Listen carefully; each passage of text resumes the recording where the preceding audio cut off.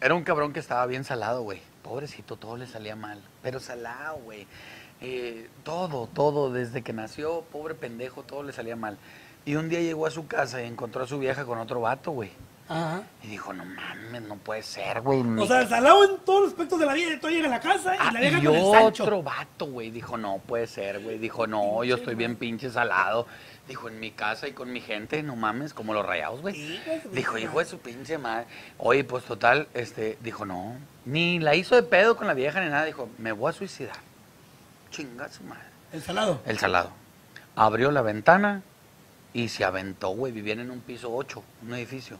Y se aventó el pendejo para la calle, para matarse. Madre, güey, qué Pero como estaba bien salado, donde se avienta, iba pasando un camión de tres y media toneladas con un chingo de colchones en la caja.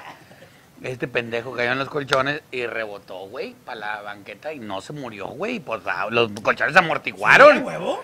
Entonces este pendejo sí se puso un puto en la banqueta y le quedó la pata así chueca. Y decía el vato, no mames, ya me quiero morir, güey. Son mamadas, mira cómo quedé, puta madre, con la pinche pata. Y yo ya debería estar en el cielo, chingada madre. Y, y- y iba camino, eh, y se- eh, ahí por la macro, Ajá. estaba un elotero. Y llegó con el elotero y le dijo, compi, ¿tienes un cuchillo que me prestes para partir un limón? Porque traigo un... Puro pedo, no traía limones. quería- Quería cortarse las venas. Ay, de su pinche madre. Este el elotero confiado. Y aparte tenía mucha gente, dijo, dale, dale, güey, dale, chica tu madre. Este pendejo agarró el cuchillo, se fue atrás de unos arbustos y se cortó las venas. Pero, pues en la macroplaza, pendejo, pues había un chingo de gente, güey. Lo vio la raza y dijo, eh, no, compi, no lo haga, y la chingada. Le pusieron unas telitas de cebolla y lo salvaron. Chinga. No se murió el pendejo. salado, güey. Salado de madre, no se murió. Pero sí se chingó unos tendones que tenemos aquí. Y le quedó la mano así, güey. Oh, que la chinga. O sea, mano chueca y pata Y el vato así decía, no mames, ya me quiero morir, güey.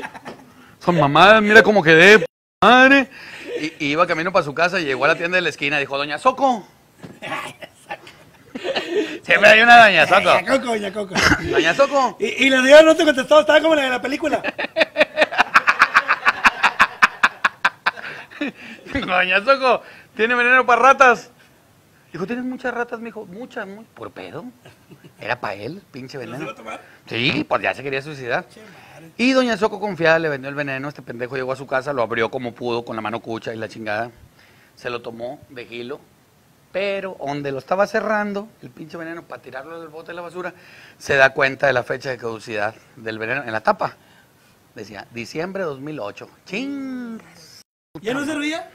Estaba caduco el pinche veneno, no se murió, güey. Salado de a madre, no se murió. Pero pues al fin veneno, le chingó la cara, le pegó así. Pinche vato. Tenía- y se le cerraba este ojo, le pone una parálisis de este lado. Eso no mames, yo me quiero No me lo hubiera morir. visto yo al vato. Eh, dame, güey, no traes. Con la boca. Eh, dame, güey, no traes. Oye, mano chueca, pata este es veneno hasta el tronco. y la quijada por cadereita y luego. No mames, yo me quiero morir, güey.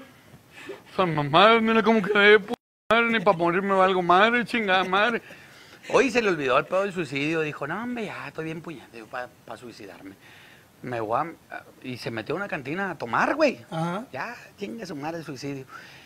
Y estaba sentado en la cantina con la pata tirante así, echando cheve, pero. Y, y agarraba cacahuates con la mano cucha. Se le tiraban todos por aquí, güey. La- pura sal se chingaba. Le tomaba. Le tomaba. Le tomaba la cerveza, se le tiraba la mitad por acá. No, hombre, traía un pinche desmadre. Desmadre el vato. Y en eso entra un comando armado a la cantina. Todos encapuchados, güey, con armas largas y la chingada entran a la cantina. ¿Quién es Felipe Villanueva? ¿Quién es Felipe Villanueva? Y este pendejo en un rincón dijo, ah, huevo, güey. Aquí me carga la chingada. Yo no soy Felipe Villanueva, pero voy a decir que soy. Chinga su madre, aquí me acribillan, vámonos. Y se levantó el vato. Y se persinó porque se hizo muy católico, güey. Ah, huevo. Porque ya tenía la señal de la cruz Eh, en la mano. Ya la tenía ya. preparada. Así no. Dijo yo. Yo soy Felipe Villanueva. Dijo, señor Villanueva, sálgase porque vamos a matar a todos.